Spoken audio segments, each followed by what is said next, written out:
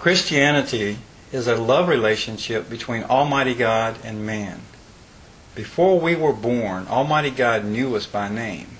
He knew our future and that we would sin. He is a holy God and knew that we had no hope in a relationship with Him unless He created a way. It is written that all of our righteousness is filthy rags before Him. In the Garden of Eden, there was only one sin. God said, Do not eat of the fruit of the tree of knowledge of good and evil. Adam and Eve ate from the fruit of the tree and became accountable for their sin. And Satan became accountable for tempting the woman. The curse of death was put upon Adam and Eve, and God told Satan, The seed of the woman will crush your head. God did not say the seed of Adam, but said the seed of the woman. Almighty God spoke through his prophets in every book in the Old Testament concerning the seed of the woman, how he will be born of a virgin, where he will be born, that he will be called Emmanuel, which means God with us. They wrote of his sinless life, his stripes, his wounds, and his death on the cross, his burial in a rich man's tomb for three days, and his resurrection to victory. They wrote that he was a sinless sacrifice, crucified for our sin, to restore us into a love relationship with Almighty God. Almighty God manifested His holy words by His prophets when the Holy Spirit made a young Jewish virgin woman pregnant. The Holy Spirit imparted the Spirit of the Son of God into the woman. Mary gave birth to a child whose father is Almighty God and mother is human. He is God in the Spirit and human in the flesh.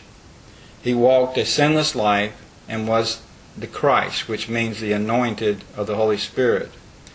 Concerning how to become a Christian, Jesus spoke to his disciples one day in Matthew 16:13 when Jesus came to the coast of Caesarea Philippi. He asked his disciples saying, "Whom do men say that I, the Son of Man, am?" And they said, Some say thou art John the Baptist, some Elias, and others Jeremiah, or one of the prophets.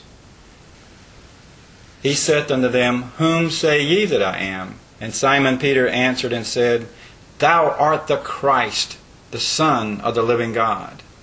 And Jesus answered and said unto him, Blessed thou, Simon Barjona, for flesh and blood has not revealed it unto you, but my Father which is in heaven.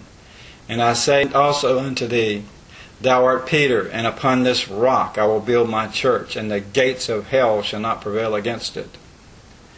What the Lord Jesus Christ is saying, Whom do men say that I am?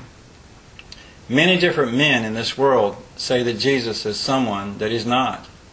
Many say he's only a prophet. But Almighty God reveals in many different ways in Scriptures that Jesus is the Son of God. The knowledge of Jesus being the Son of God is what Jesus built his church on. The death on the cross of anyone other than the Son of God would have no effect over sin. Jesus alone fulfilled all the prophecies as a sinless sacrifice for our sin. He alone is a Savior. There is no other way than believing on Jesus to be saved from sin and death. If you believe that the Lord Jesus Christ is the Son of the living God and you want your sin washed away by His holy blood, you can become a Christian. Jesus said, He that believeth and is baptized shall be saved, and he that believeth not shall be damned. Those that believe in the, that the blood of the Lord Jesus Christ will wash away sin and want to become a follower of Him can receive this blessing by prayer and then get baptized in water in obedience to Him. This is an odd sign that we believe in the death, the burial, and the resurrection of the Lord Jesus Christ. If you sincerely want to become a Christian, you can begin now through prayer. You can pray from your heart this prayer salvation, or I can help you by leading you in a prayer. Follow me as I pray the prayer of salvation with you. Just repeat after me. Sovereign God, I come to you in prayer now and ask for your mercy upon me. Forgive all of my sin and trespasses. I believe that Jesus Christ is your Holy Son, and you have raised him from the dead. I ask you, wash me free from all sin with his blood, and give me the gift of salvation. Baptize me now with your Holy Spirit, and give me the gifts. Thank you, Almighty God, for all the gifts that you give me. I pray that you will provide me with water baptism. I am not ashamed that I believe in the death, burial, and resurrection of the Lord Jesus Christ. I know that your word is true and receive your gifts now.